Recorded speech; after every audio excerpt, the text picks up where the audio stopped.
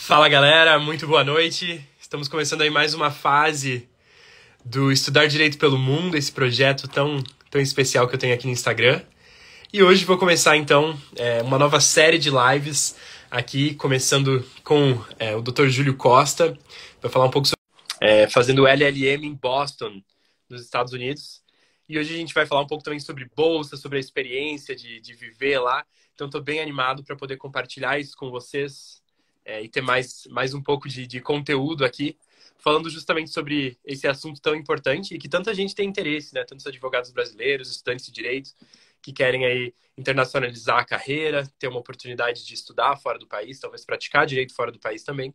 E a gente vai aprender então um pouco hoje sobre como que a gente pode fazer isso é, e, e, vai ouvir um pouco especialmente da experiência do Dr. Júlio. Então, estou super animado aí.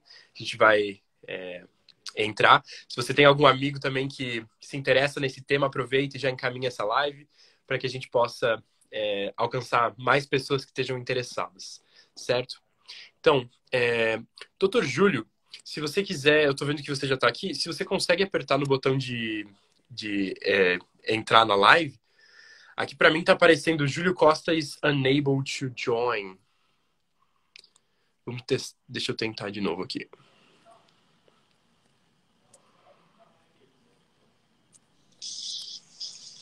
Aê, beleza. Tudo certo? Boa noite. Boa noite, meu amigo. É um prazer estar com você aqui hoje. Eu venho acompanhando seu trabalho já há algum tempo.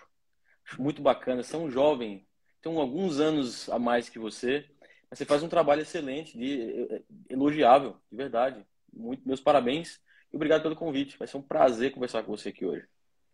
Opa, obrigado. Eu agradeço muito a tua disposição por, por estar aqui com a gente hoje, né?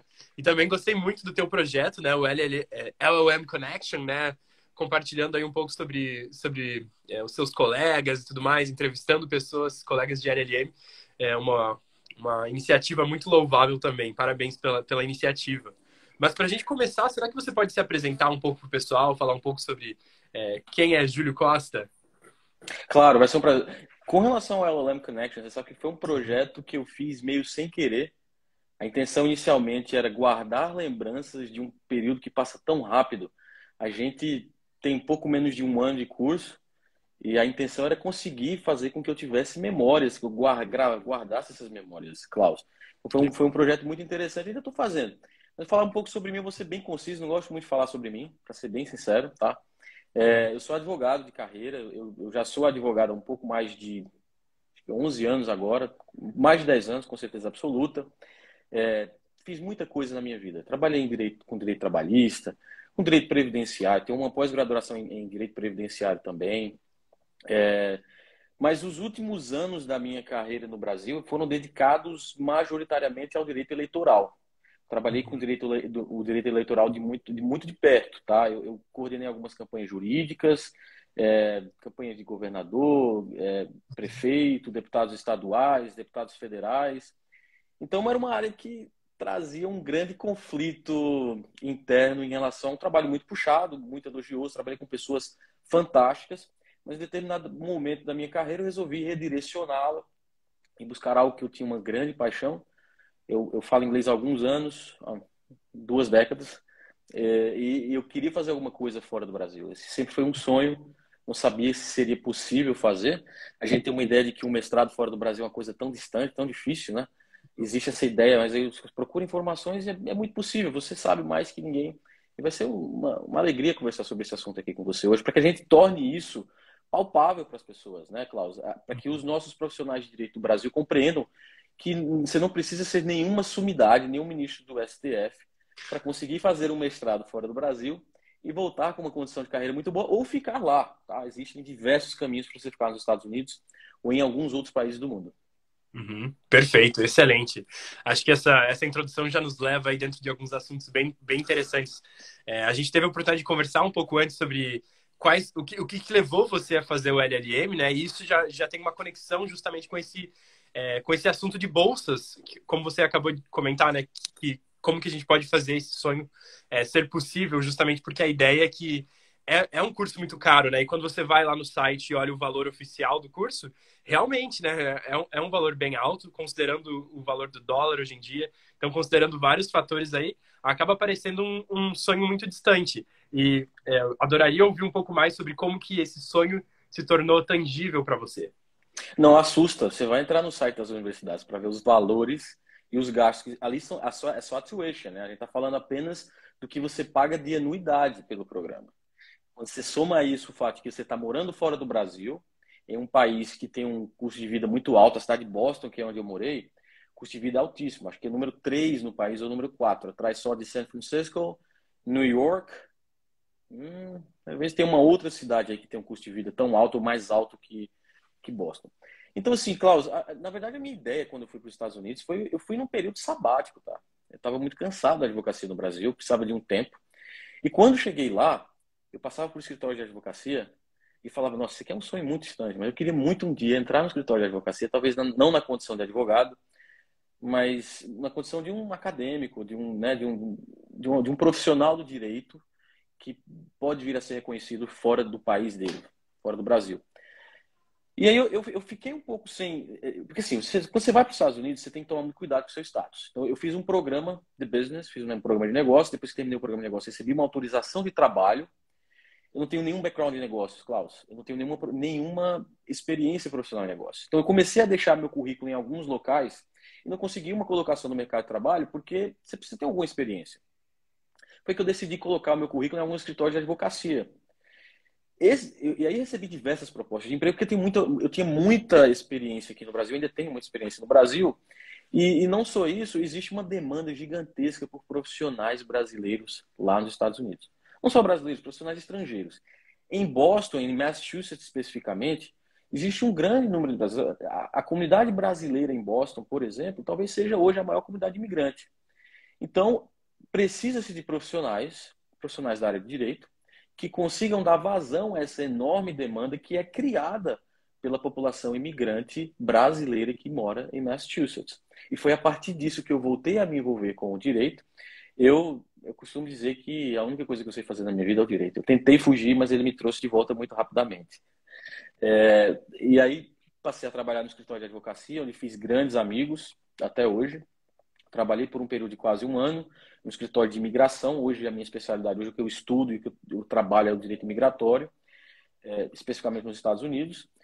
E aí o caminho mais natural era que eu continuasse a estudar direito e buscasse uma, uma outra oportunidade, um avanço na carreira. É, se, é sempre isso que a gente quer fazer, a gente não quer ficar estagnado, né? E aí foi onde eu comecei a pesquisar um pouco sobre as possibilidades de se cursar um mestrado.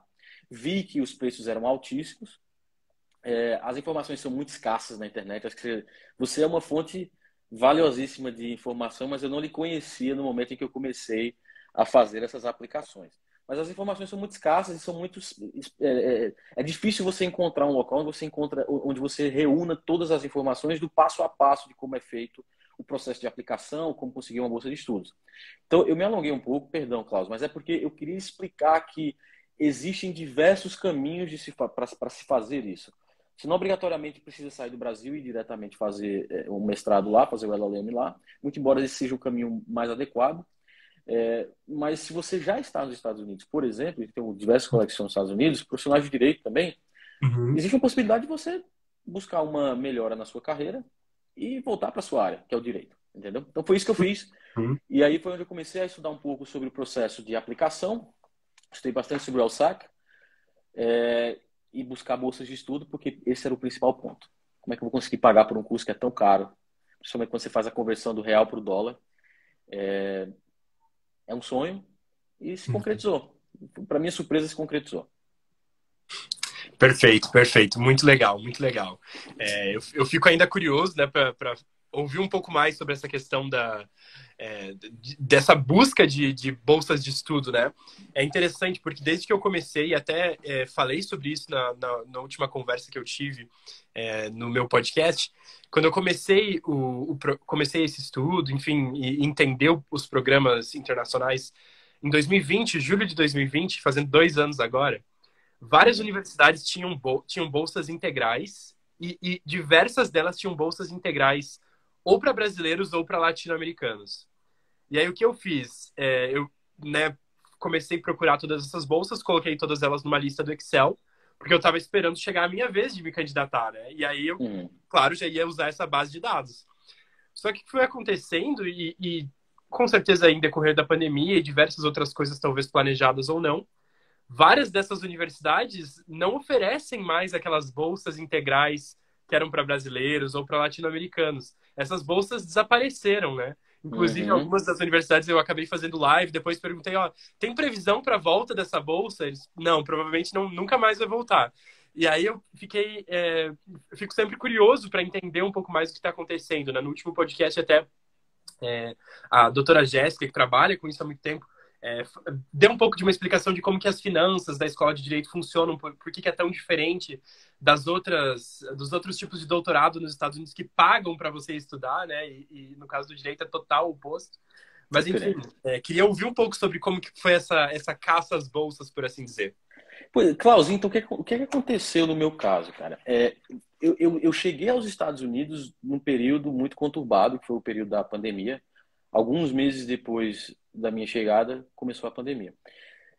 Em razão da pandemia, o governo Trump, que deu, que teve diversas medidas extremamente difíceis para a população imigrante ou para a população de estudantes do país, é, o Trump ele, ele emitiu uma ordem executiva impedindo que alunos estrangeiros, não sei se você se recorda disso, mas impedindo que alunos estrangeiros viajassem de lá para cá. Então isso trouxe um prejuízo enorme às universidades que passaram a ter uma necessidade muito grande de captação de recursos por qualquer maneira que fosse. Então, as bolsas se tornaram muito mais escassas. Essa é uma das explicações. As universidades se reuniram, a Harvard, a Yale, a Georgetown, diversas universidades, a Ivy League se reuniu, porque elas dependem muito da, da mão de obra, não só da mão de obra, mas da, da qualificação dos estudantes estrangeiros que, vêm, que vinham para os Estados Unidos estudar. Né? Essa, no final das contas, essa medida foi, foi derrubada, mas causou um prejuízo muito grande, principalmente nessa época em que você buscava as bolsas de estudo, que era a época em que o Trump tinha emitido essa ordem executiva. Mas a minha busca foi muito peculiar, porque assim, eu, eu busquei, eu, a minha aplicação foi muito rápida. Tá? Do momento em que eu decidi fazer o curso até o momento em que eu comecei a aplicar, eu tive um intervalo de tempo muito pequeno em que eu apenas tive tempo para conseguir as minhas cartas de recomendação com os meus recomendadores aqui do Brasil, que a gente precisa falar sobre isso. É um, é um, são documentos de importância fundamental. Se você quer conseguir bolsas de estudo, essas, essas cartas de, de, de, recomendação aliadas ao seu personal statement, né, que, seu, que seria aquela, aquele documento que você se apresenta para a universidade e explica por qual motivo você vai ser um, um, uma adição valiosa para a cultura da universidade, é, são documentos fundamentais, importantíssimos. Mas no meu caso, eu sabia que essas que as bolsas estavam escassas. Eu queria, eu me restringi, aí onde a gente entra do tema na cidade de Boston, eu queria estudar em Boston, não queria sair de Boston, muito embora eu tenha feito algumas outras aplicações. Então eu me restringi às universidades dentro de Boston. Eu sabia e como me comuniquei com alguns, algumas pessoas que eu conhecia, eu, eu sabia que existiam algumas universidades na região de Boston que ofereciam bolsas de estudo muito significativas. Mas eu, eu, eu não sabia de quanto exatamente, sabe? 30%, 40%, a gente consegue 20 mil, 25 mil dólares, 30 mil dólares de bolsa de estudos. E só para esclarecer, essa, essa bolsa de estudo de 30 mil dólares, por exemplo, é que você vai receber esse dinheiro. Esse valor é convertido como pagamento para a sua tuition. Então, você não tem que pagar esse valor do valor integral do curso. Então, Klaus, eu fiz aplicação em cinco universidades na cidade de Boston, né? Que foi a Suffolk University School of Law, Suffolk School of Law. Eu fiz a aplicação na Boston University, na Boston College, na Northeastern University School of Law e na New England, na New England Law. São universidades boas, tá? Todas elas são universidades muito boas, mas não são universidades conhecidas por oferecerem bolsas gigantescas. Tá? Para minha surpresa, eu fui aceito por todas elas e recebi propostas de bolsas de estudo por todas elas. A minha explicação para ter recebido essas bolsas de estudos, Klaus, foi, foi, foi o seguinte: eu fiz, uma, eu fiz uma aplicação muito, muito forte.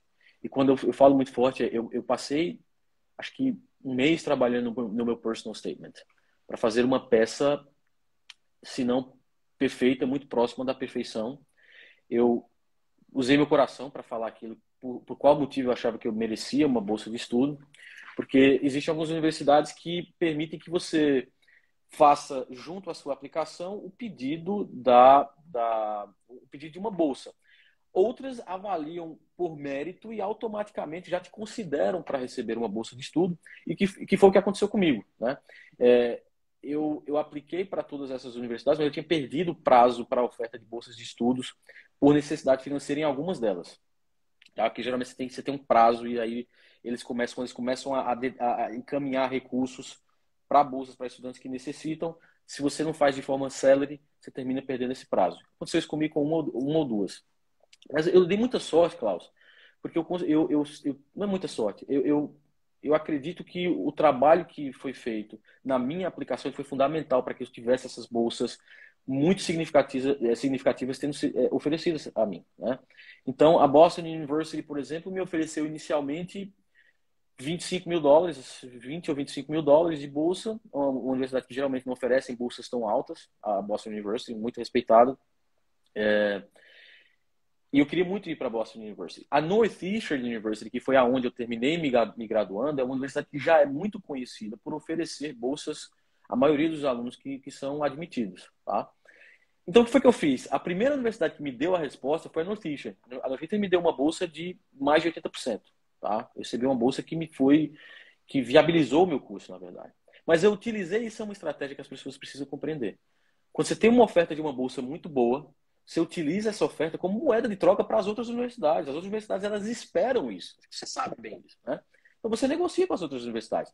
A Boston College eu tinha um ótimo relacionamento com a Susan, que é amiga sua também, uma pessoa maravilhosa, fantástica. Infelizmente não está mais na Boston, na BC, mas é uma, é uma pessoa, uma professora excelente. Ela me ofereceu uma bolsa também. Então o que foi que eu fiz? Depois que eu recebi a oferta da bolsa da Northeastern, eu passei a negociar com as outras universidades que estavam à frente no meu índice, no meu, no meu ranking de, de prioridades. Tinha uma universidade que era prioridade número 1, número 2, número 3, número 4. A Northeastern é uma ótima universidade, tá? Para deixar isso bem claro. Universidade muito boa, tem uma cultura muito diferente das universidades de direito dos Estados Unidos, mas ela me deu uma alavanca muito boa para conseguir melhorar as propostas de bolsa de estudos de todas as universidades que, que me ofereceram bolsa. Poxa, 100%, que legal, bacana mesmo. É, é, é, super interessante essa estratégia que você falou, até porque realmente a gente ouve vários desses relatos, né? E é especialmente é, interessante ouvir alguém que viabilizou o LLM é, em todo esse esquema, né? É, e, e bah, me, fez, me fez pensar em várias coisas diferentes, mas é, algo que é muito interessante, né? Até para quem está pensando e, e planejando fazer um LLM é justamente é importante fazer esse planejamento com, com antecedência, né? Você comentou aí que fez, precisou fazer tudo muito rápido, trabalhou um mês inteiro focado no, no plano, mas realmente tem essa questão dos prazos que podem é, fazer com que você possivelmente perca é, o prazo lá da bolsa, né? Seja a, a, de necessidade financeira ou a de mérito acadêmico. Então existem vários pontos que, que é, demandam é, que, se, se for possível, você tenha um planejamento quanto mais tempo melhor, né? E saber quais são os documentos, saber tudo isso com antecedência, realmente já dá uma ajuda muito grande. É, se você tem. Desculpa, Cláudio. Tranquilo, tranquilo. E eu só comentar às vezes também para mandar os documentos para o SEC, né? Mas go ahead.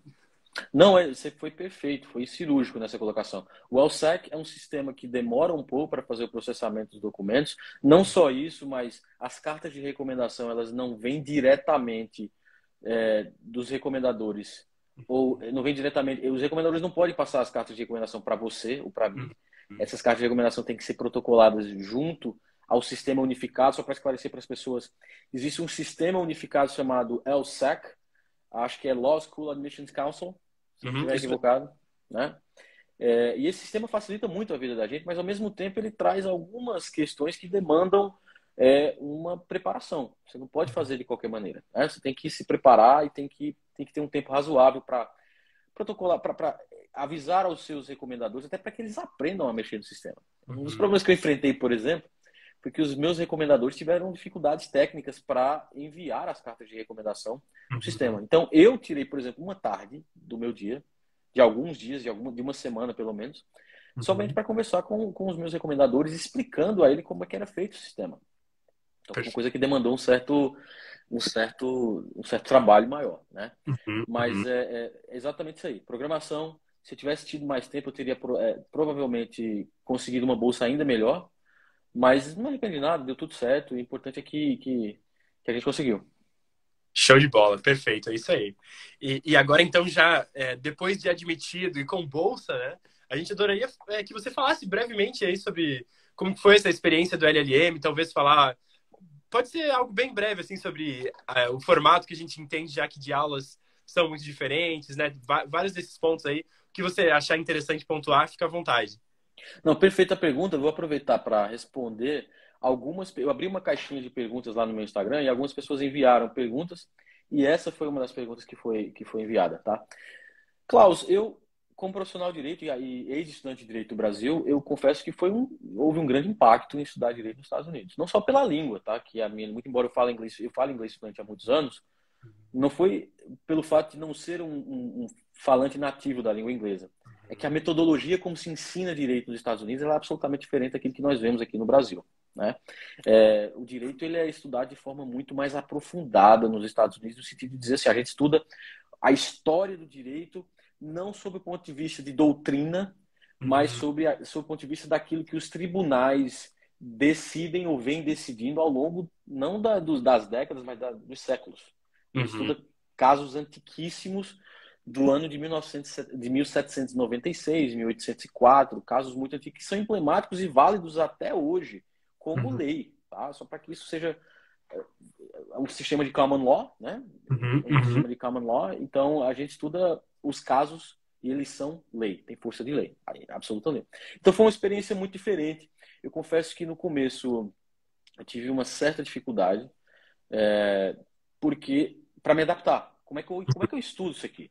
De que forma eu estudo isso?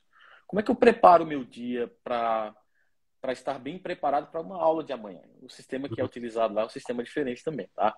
A gente, os professores não dão o conteúdo e depois você vai estudar o conteúdo para ter oportunidade de discutir isso em sala de aula.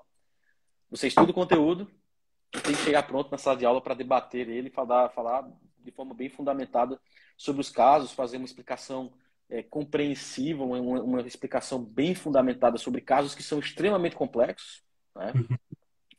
E, e, foi uma experiência muito interessante. No começo, eu confesso que eu tive que parar um pouco mais para me orientar, mas depois você pega isso. Tá? E uma das perguntas que me foram feitas, se você me permitir, eu já vou, eu vou inserindo uma outra. À vontade, pergunta, claro, perfeito. Claro. Que uma, coisa, uma das coisas que me perguntaram, Klaus, foi o seguinte: se eu tiver um nível intermediário de inglês, se o meu nível de inglês não for é, avançado e eu não, eu não falar, eu, eu falo inglês fluente, mas o meu inglês é intermediário, eu consigo acompanhar um curso desse? Eu acho, eu sinceramente, minha, eu sou da opinião de que sim, é possível, porque eu tenho colegas que concluíram o curso comigo que tiveram muita dificuldade com o idioma, tá? Tiveram muita dificuldade com o idioma, mas que conseguiram é, concluir o curso de forma muito é, elogiável. Agora, óbvio, o trabalho que, se, que você tem e, e, o, e o, o, esforço que você tem que empreender, ele é muito maior. Ele é muito uhum. maior, né? Eu sei que você fala sobre o inglês jurídico aí, Queria que você desse uma. Não estou querendo reverter aqui a, a, conversa, mas eu queria que você desse uma pincelada sobre o inglês jurídico. Como é que você conseguiu? De onde é que você tirou é, a sua inspiração para aprender sobre inglês jurídico? É, é uma ótima pergunta também. É, ao decorrer desse projeto, né, foi justamente isso que acabou acontecendo. Eu acabei percebendo uma necessidade, é, ou, ou, o que as pessoas pensam ser uma grande necessidade. Porque quando você vai estudar nos Estados Unidos, é, mesmo os americanos, eles vão aprender essas palavras pela primeira vez, de forma geral. Então, quem está fazendo o seu JD lá vai aprender as definições das palavras pela primeira vez. Hum. Quando a gente é, é, estudante de segundo idioma, né, a gente quer talvez saber inglês jurídico aqui no Brasil por diversos fatores, mas alguns dos, algumas das pessoas sentem que elas estariam melhor preparadas para fazer um LLM, por exemplo, se elas tivessem uma noção geral de inglês jurídico. Então, é minha inspiração para estudar foi basicamente isso. É, foi ver essa necessidade e aí estudar.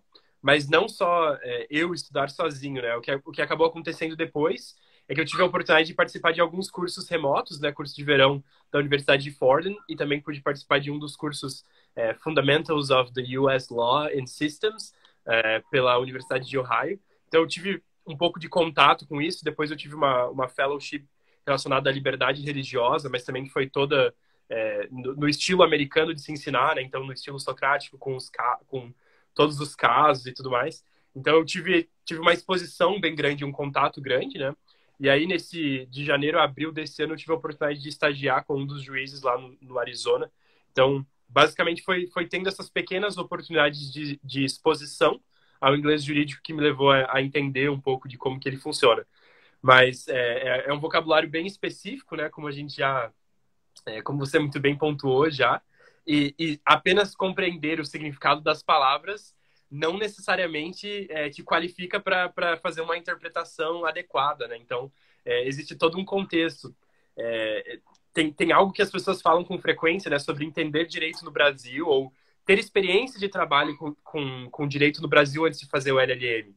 E eu entendo isso, faz, faz sentido para mim, é, no ponto que quando eu, quando eu entendo os institutos do direito aqui no Brasil e eu vou comparar eles com o que acontece nos Estados Unidos, eu tenho uma noção muito forte. A base é, do direito em si, né, ela, ela tá mais fortalecida e aí fica, fica mais um pouco mais tranquilo para compreender os conceitos, porque a gente pode falar, ah, isso não tem nada a ver com o Brasil, isso é, é, bem parecido. Então eu acho que tem um pouco de tudo, sabe? E aí, é, sendo estudante de direito ainda, às vezes eu sinto essa necessidade eu percebo que, ó, faz muito sentido essa palavra, faz sentido como que o processo acontece, mas eu não saberia dizer qual que é o correspondente no Brasil. Porque, talvez porque a gente viu isso rapidamente na matéria, né? São cinco anos aí de conteúdo, a gente estuda tudo é, na faculdade. Então, é, basicamente esse foi, foi assim que inglês jurídico surgiu também no meu é, dentro do, das coisas que eu quis aprender durante esse tempo. Você falou uma coisa muito importante aí, Klaus, que é o seguinte: o raciocínio jurídico. Então, assim, pessoas que têm experiência. E aí, estudantes de direito brasileiros, é, não é que não vão conseguir acompanhar um curso, é óbvio que vão conseguir acompanhar o curso, mas o raciocínio jurídico. E, e aí eu tenho que fazer um parênteses que assim, eu, eu, eu, tenho um pouco mais de idade, né? Eu não estou tão jovem assim como você está e como a maior parte da minha turma estava. Eu estava fora do curso de direito. Eu, eu concluí o curso de direito há 13 anos, 12 anos, 12 anos quase. Então, eu já estava fora da universidade há muito tempo, muito embora continuasse a estudar. Uhum. É, mas o raciocínio jurídico ele é, ele é, extremamente útil. O direito ele, ele tem raízes fincadas e muito similares em diversos lugares do mundo. Né? As, as fontes de direito elas são muito parecidas. Então, uhum. quando a gente advogados com experiência, tanto quanto estudantes jovens, é, têm aí uma, uma vantagem muito grande e conseguem sim acompanhar o curso se não tiverem uma pequena vantagem em decorrência do fato de eles entenderem como é que o direito funciona uhum. e esperarem o que é que os juízes. Porque, como a gente estuda muito sentenças, a gente estuda muitas opinions, né? Uhum. A gente tem. Quem praticou o direito na condição de advogado aqui no Brasil sabe mais ou menos como é que um juiz pensa, ou tem pelo menos uma ideia de como o juiz pensa, de, né, especificamente, né, de alguns juízes de quem você conhece. Então, essa experiência é valiosíssima, valiosíssima. Eu, eu, eu falo assim de coração que foi uma coisa que me auxiliou muito, a ponto que eu começava a ler o caso, uhum. e aí nos dois primeiros parágrafos eu já imaginava qual era a sentença dele, isso mais um pouco mais para o meio do curso, já imaginava qual era a sentença dele, pela uhum. minha experiência jurídica aqui no Brasil. Mas é, é, uma, é um ponto fundamental esse que você abordou. Tá? A, forma, a forma de escrita ela é muito diferente. A forma como o advogado americano raciocina ela é muito diferente. Existe, um, não sei se você já chegou a estudar é, a estrutura que se tem para fazer petições. É, uhum. né, você tem o, o, o, uma estrutura muito específica e quando você foge daquilo ali, você fica numa situação difícil. Os professores geralmente vão te dar uma nota bem baixa se você não, não, segue essa, essa estrutura. Né? Mas é, é fundamental, fundamental entender o inglês jurídico, que não é tão difícil, tá? Não é absurdo. É a mesma coisa no Brasil. A gente também chega, entra no, na universidade aqui no Brasil, sem saber nada de juridiquês.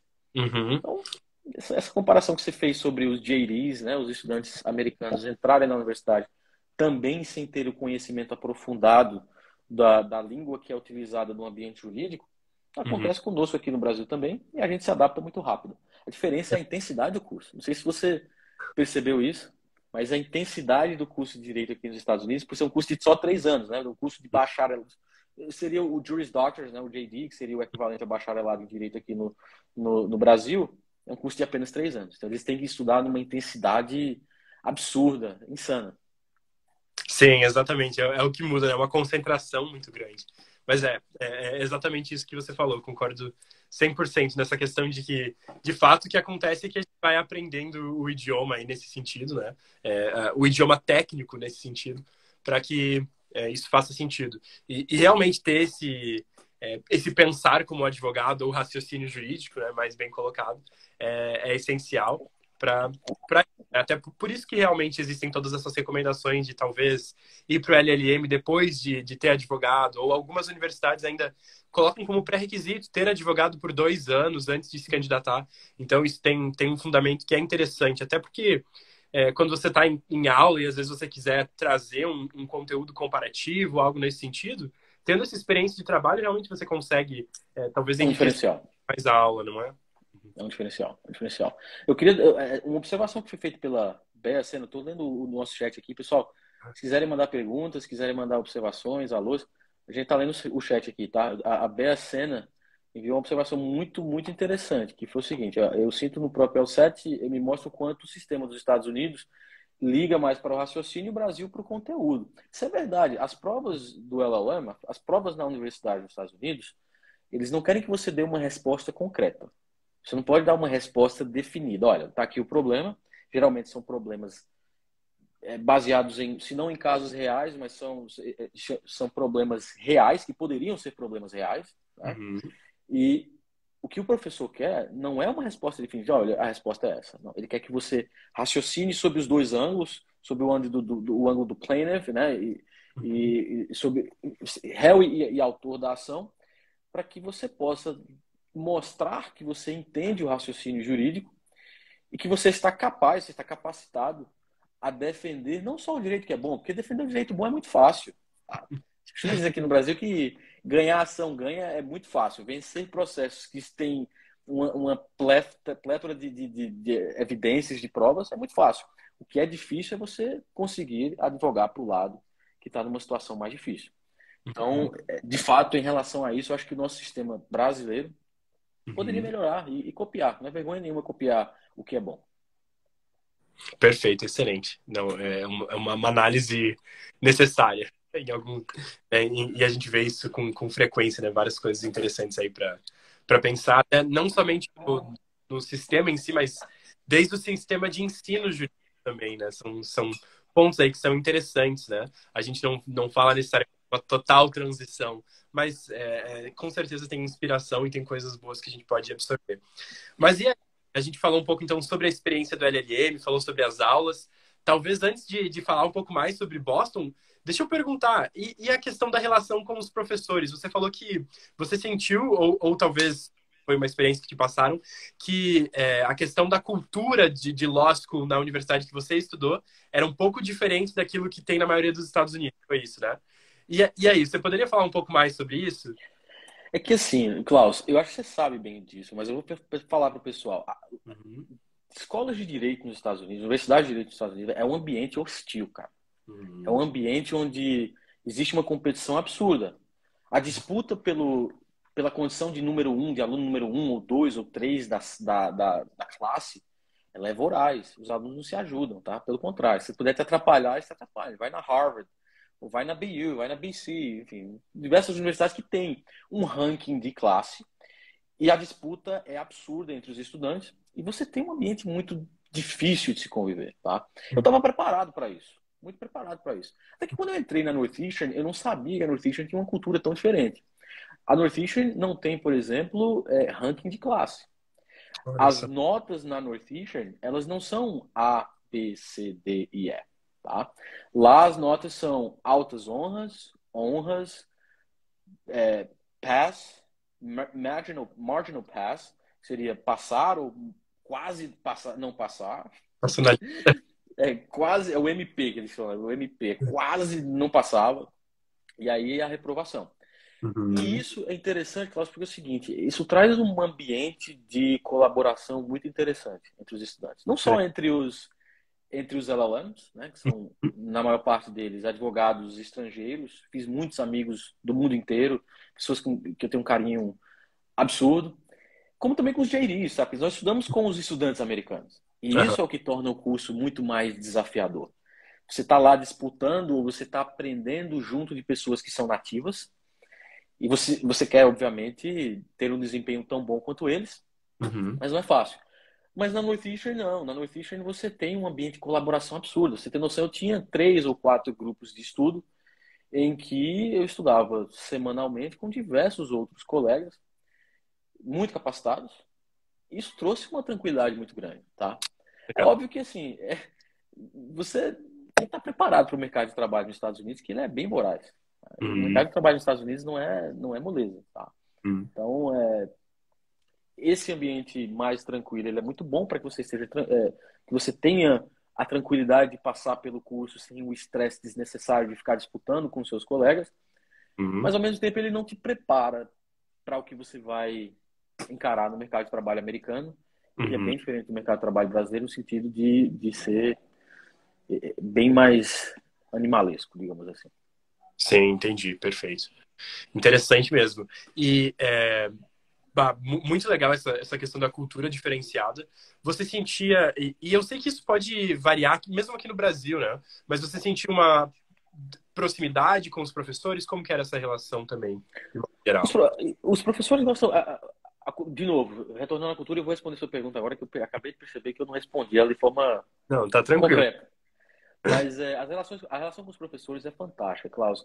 Nós, como estudantes, advogados internacionais, nós somos muito bem-vindos bem nas universidades. As universidades, é, elas, elas alimentam essa diversidade cultural. Northeastern, especificamente, ela tem uma, uma cultura de, de alimentar essa diversidade. E, e, é muito interessante que os, os, professores, não só os professores, mas, mas os estudantes também, a, a comunidade acadêmica da, da, da universidade, eles, eles querem te ter por perto. Tá? Isso foi uma coisa que eu senti. Então eu tinha uma acessibilidade muito grande junto aos professores, a todos eles. A gente chegou a ter uma ou duas matérias que foram pagas exclusivamente com alunos internacionais ou alunos do LLM, uhum. mas a maior parte do curso foi com estudantes de, de geris e eles não aliviam não, tá? Só para deixar, isso muito, deixar isso muito, bem, muito claro aqui. Não existe um alívio porque você não fala o inglês de forma nativa e, e as provas são as mesmas, o tempo que você tem para concluir as provas é o mesmo, uhum. é, e a cobrança é a mesma, tá? Mas isso não quer dizer que fora da sala de aula você não tenha, eles são muito acessíveis. Eles, uma parte dos professores separam horários semanais para conversar com os alunos, os atendem, tira dúvida, quase num regime de plantão, acho que num regime de plantão, de verdade. Então, uhum. é, se você não entendeu alguma coisa, não se desespera, você tem que comer o livro, não tem que se desesperar, tem que comer o livro, tem que comer o livro independente de qualquer coisa. Mas você não uhum. precisa se desesperar, porque você tem uma, uma acessibilidade muito grande junto aos professores e também junto aos, aos JDs, que são geralmente estudantes, não todos, mas existem grupos que gostam muito de auxiliar os estudantes, os estudantes estrangeiros. Perfeito, excelente. Essa informação é, é, é, é muito importante, né? Acho que dá uma é, tranquilidade para quem está pensando, né? E talvez até é, especificamente considerando a Northeastern, então, né? Então isso é, isso Bacana demais, show de bola, obrigado por compartilhar. Talvez para a gente chegar aqui num ponto é, é, de talvez que chegue leve ao fim da nossa live, mas queria saber também um pouco do, do, da cidade de Boston, né? Você começou comentando que também é uma das cidades mais caras para se viver nos Estados Unidos, né? Então tá, tá pelo menos no top 5, né? E aí é, fa fala um pouco mais sobre isso, né? E você comentou que trabalhou antes e tudo mais, mas é, networking foi fácil, foi, foi essa cultura. Então, você poderia comentar um pouco mais sobre a cidade, sobre a experiência específica de ter feito o LLM em Boston? Claro. A cidade de Boston é uma cidade fantástica, claro, sobre inúmeros aspectos. Primeiro, uma cidade historicamente muito relevante na história dos Estados Unidos. Né? Uma cidade que é o berço da Revolução Americana. Então, você anda pelas ruas de Boston e você está vivendo a história do país. Você compreende o que é a cultura americana quando você anda em Boston. Mas, ao mesmo tempo, você tem, um, em, em paralelo, uma comunidade acadêmica, um, um grande grupo de pessoas, de imigrantes, que tornam a cidade um, uma verdadeira panela de pressão de diversidade. Então, você uhum. tem pessoas do mundo inteiro, sabe? E, e o que... Eu, Boston às vezes é, é, é, comparada com New York no sentido, Nova York no sentido do, do, da cultura da cidade um pouco, mas Boston é infinitamente menor que Nova York. Isso é uma coisa que me agradava muito na cidade. É uma cidade de 600 mil habitantes, é, cercada por outras pequenas cidades que também são muito avançadas, mas é um lugar muito bom de morar, onde você tem qualidade de vida. O, eu não posso falar que o, é, o clima é algo que nós estamos acostumados, porque eu estaria mentindo aqui. A cidade de Boston é uma, é uma cidade muito fria, a maior, durante a maior parte do ano. O inverno ele é, ele é, bem alongado em Boston, mas você vê as quatro estações, que é uma coisa muito legal para nós brasileiros. Uhum. Pelo menos aqui no Nordeste, de onde eu sou, a gente só tem uma, uma estação, que é quente pra caramba. Né? Não tem outra estação. Então, é, é, experimentar é, as quatro estações também é uma coisa que traz muita alegria. É muito legal passar por isso. Que legal, que legal. Então, é uma cidade fantástica, tá? Eu, eu, eu se alguém tiver na dúvida entre Boston e alguma hum. outra cidade, não sei qual outra cidade, mas se você tem, se você sente no seu coração que você quer ir para Boston, vai que você não vai se arrepender, tá? O networking é muito fácil. O número de estudantes na cidade de Boston é gigantesco. Muitos estudantes em Boston, tá? Pessoas do mundo inteiro. E uma comunidade, uma comunidade brasileira. Deixa eu só esclarecer uma coisa, muita gente não sabe disso. Eu, inclusive, não sabia, tá? Quando eu cheguei em Boston, eu tomei um susto com a quantidade de brasileiros que residem em Massachusetts. Eu não uhum. sabia. Eu acho que talvez Boston seja hoje, uh, Massachusetts seja hoje, se não o primeiro, o segundo, tá entre os três estados nos Estados Unidos que tem o maior número de brasileiros. É incrível, cara. Onde você vai, tem uma cidade. Eu residi em uma cidade lá chamada Framingham, uhum. que 80% da 70% da população é brasileira. Caramba. É uma cidade de quase 100 mil habitantes. É absurdo. Uhum. Você, você anda na cidade, a única diferença de você estar no Brasil e estar lá é porque às vezes faz menos 4, menos 5 graus Celsius, às vezes um pouco menos que isso. É uma coisa que você não vai ver aqui no Brasil. Uhum. Mas é uhum. muito interessante essa, essa mistura, essa mistura cultural. E nós somos muito prevalentes lá e muito respeitados, tá? A comunidade, a comunidade brasileira é muito querida pelos, pelos americanos de Massachusetts. São pessoas mais frias, para deixar bem claro. Uhum. As pessoas do Nordeste americano, elas são bem frias. Mas, mas é um lugar bom de viver. É um lugar, é um lugar bom de morar. Que legal, que legal. É uma localização interessante também, né? Porque você não está tão longe é, dos grandes centros também, né? Você com, conseguiria, talvez, é, dirigir para Nova York, para Washington, D.C. Então, é, tá, tá num local interessante também, se você quiser é, ter um pouco dessa experiência da cidade grande. A gente recebeu algumas perguntas aqui enquanto você falava, então vou até colocar aqui para nós e aí a gente já, já fala sobre isso. Então aqui é uma pergunta especificamente sobre a Northeastern. Qual que é o tamanho das turmas do LLM é, na Northeastern? O, o, a Northeastern é uma escola pequena. Na verdade, assim, a Northeastern University é uma, é uma a comunidade acadêmica da Northeastern é gigantesca em outros, em outros cursos. Né? É uma universidade muito reconhecida na área de engenharias. É uma universidade que exporta, exporta cientistas para o mundo inteiro.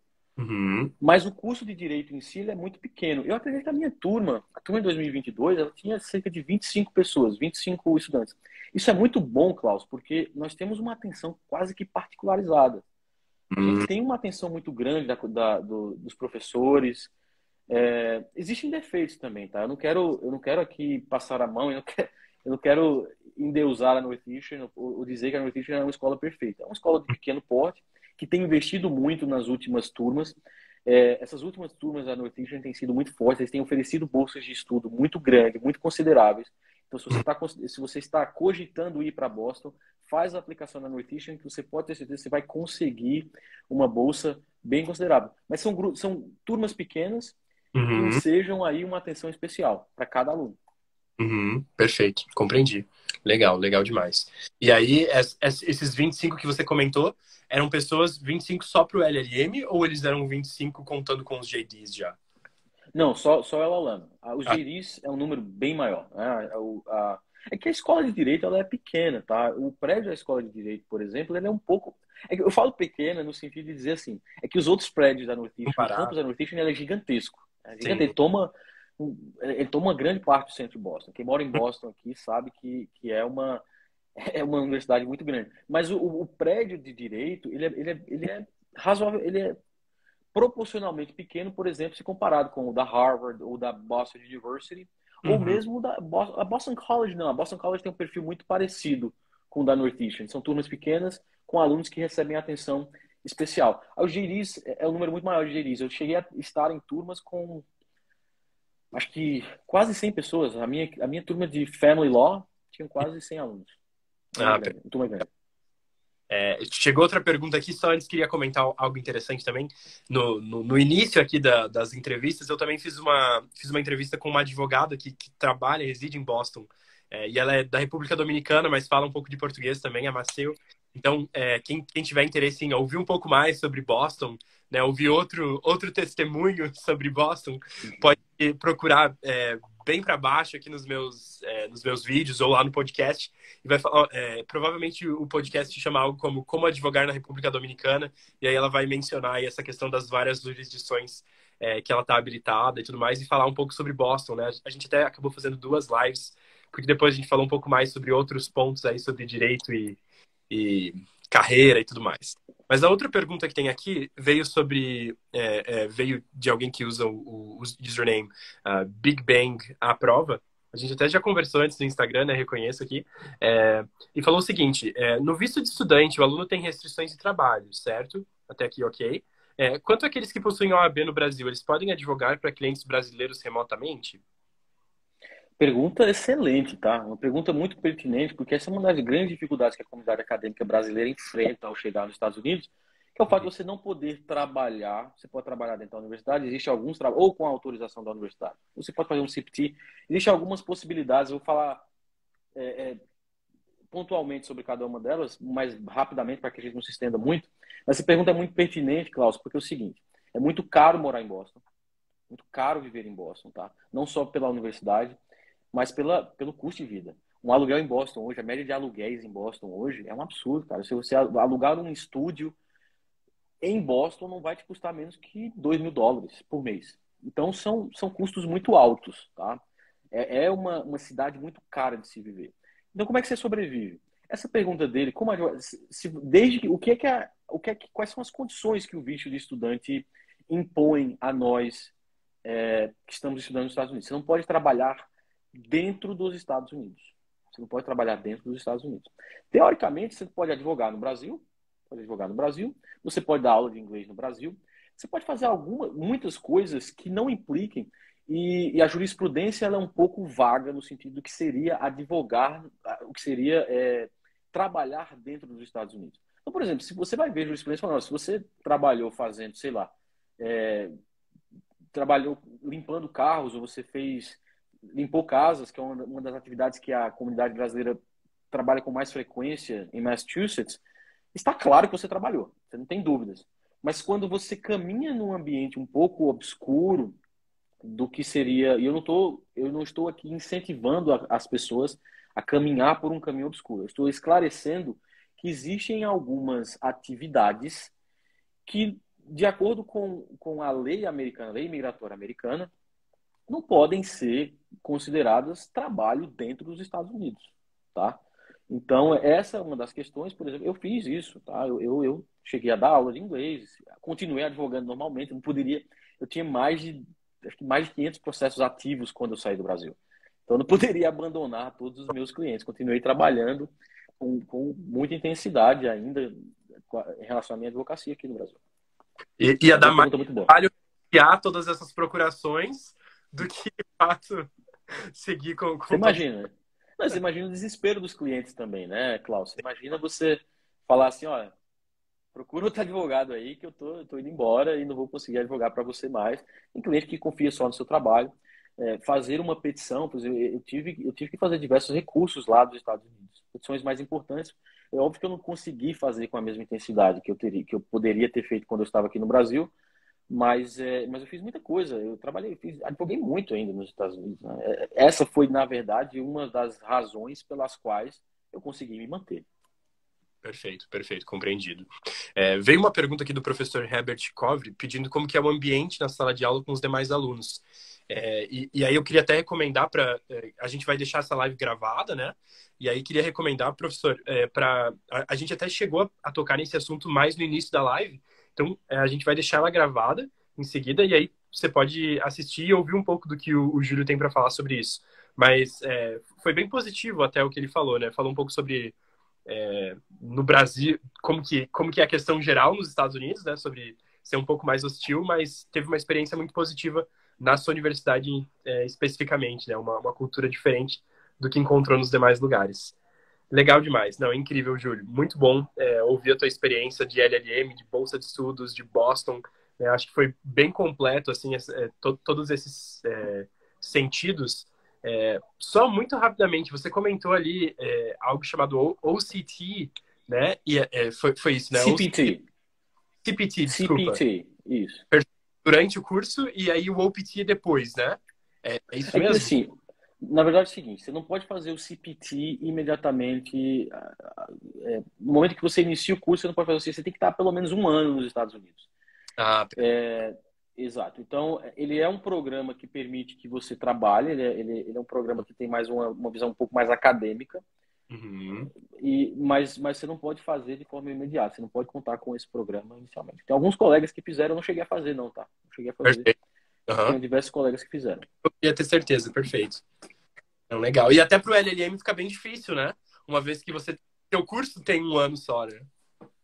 Ah, deixa eu só fazer uma observação, Klaus, que é uma coisa muito importante. E como eu estudei muito direito migratório, uhum. existe uma, uma questão que as pessoas não sabem. Uhum. A gente não pode trabalhar como estudante, mas existe um, peri um, existe um pedido excepcional que nós podemos fazer à imigração. Todos os advogados com quem você conversar nos Estados Unidos vão te desaconselhar a fazê-lo. Por quê? Porque a, a migração pode ser, o USCIS, que é o órgão que é responsável por adjudicar esses pedidos, ele pode ser bem vingativo, tá? E aí, se você quiser, eventualmente, buscar um ajuste de status ou quiser buscar uma, um, um novo caminho para se tornar um portador de um green card ou, de, ou se tornar cidadão americano no futuro, eles podem sim levar isso em consideração na hora de negar um pedido seu. Mas existe um pedido excepcional por dificuldade financeira.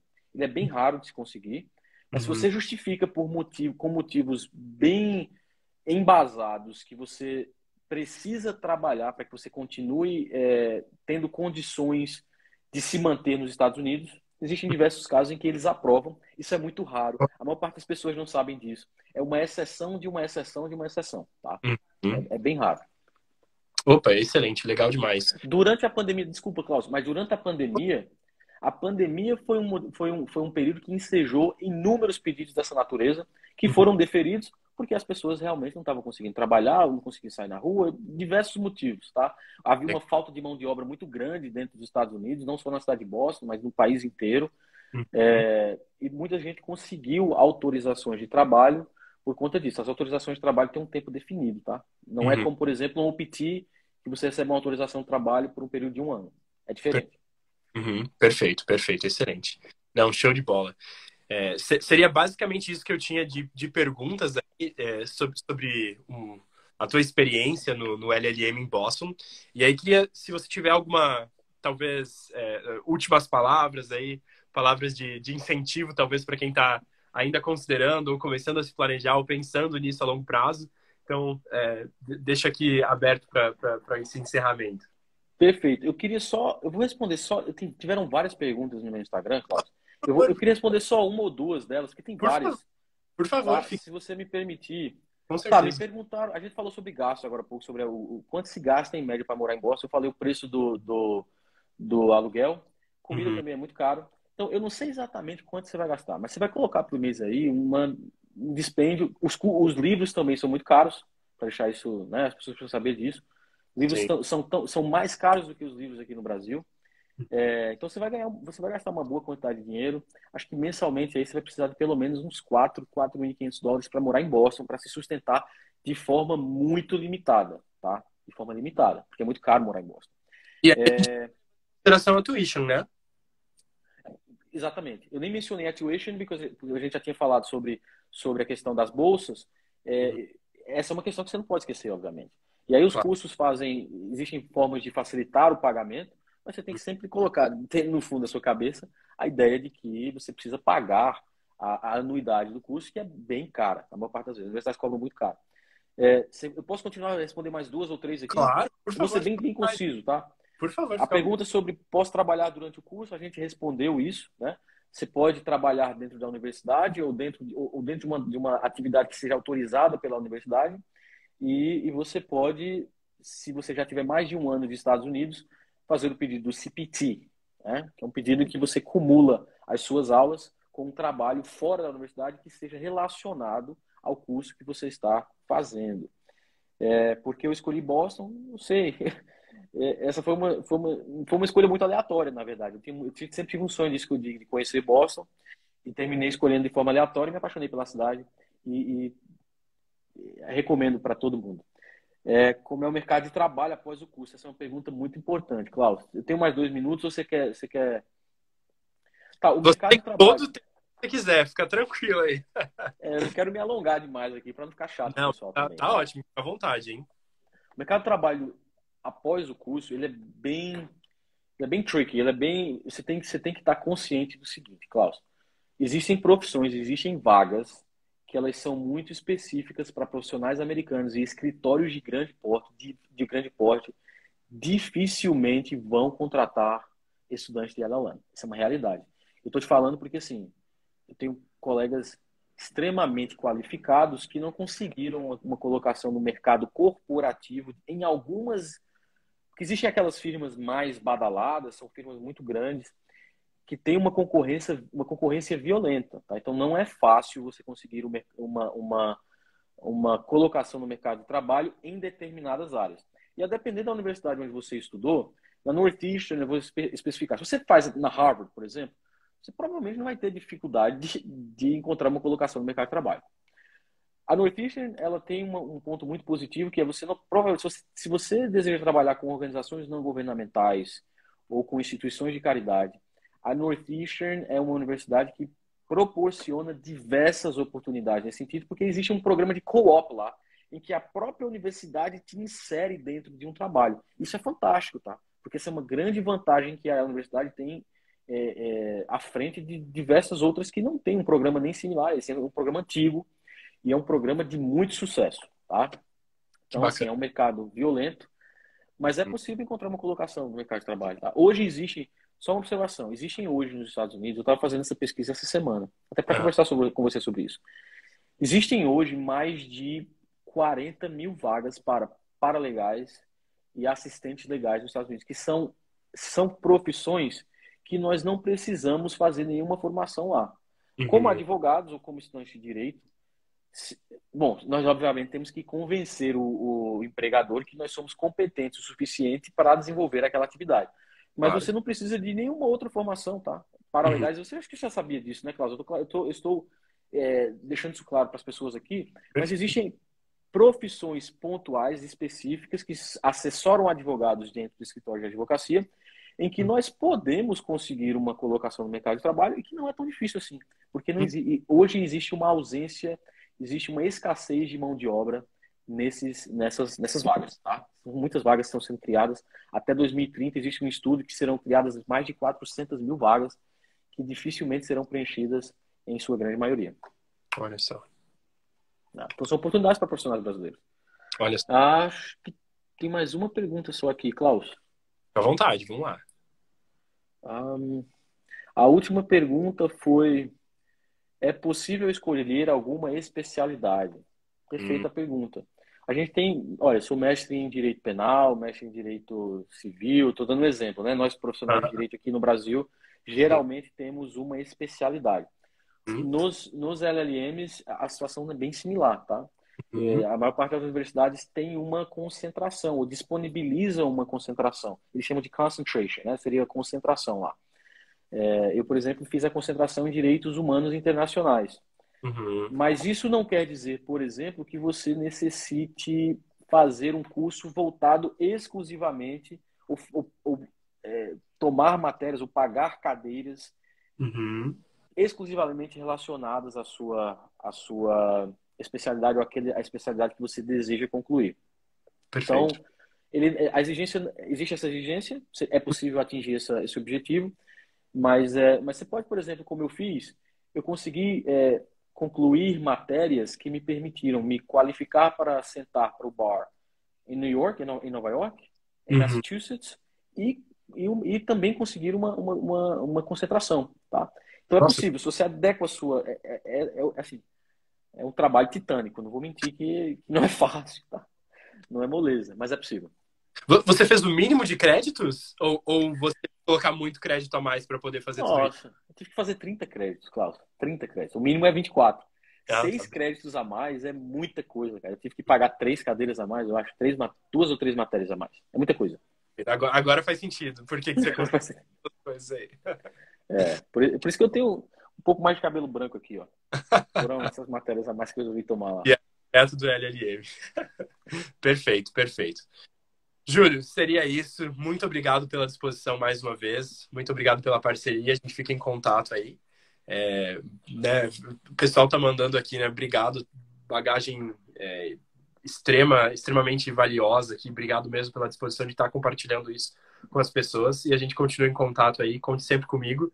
E é, nos vemos em breve para, é, enfim, outros projetos. Quem sabe nos vemos lá em Boston também, eventualmente, né? E é, até mais, então. Muito obrigado, hein? Foi um prazer conversar com você, Cláudio. Já falei para você, você é uma pessoa que eu sempre admirei, muito jovem, mas que tem um trabalho excelente, fantástico. Um grande prazer, uma grande alegria receber esse convite. A gente vai se ver pessoalmente. Eu acho que você é grandão, acho que deve ter uns dois metros de altura, que eu já vi você tirando foto com os caras aí.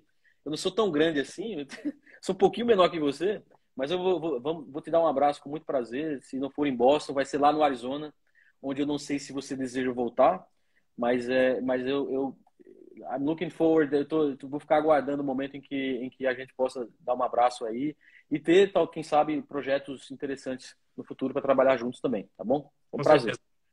Prazer, hein? Obrigadão, grande satisfação e can't wait to meet you. can't wait to meet you. Take care. Bye.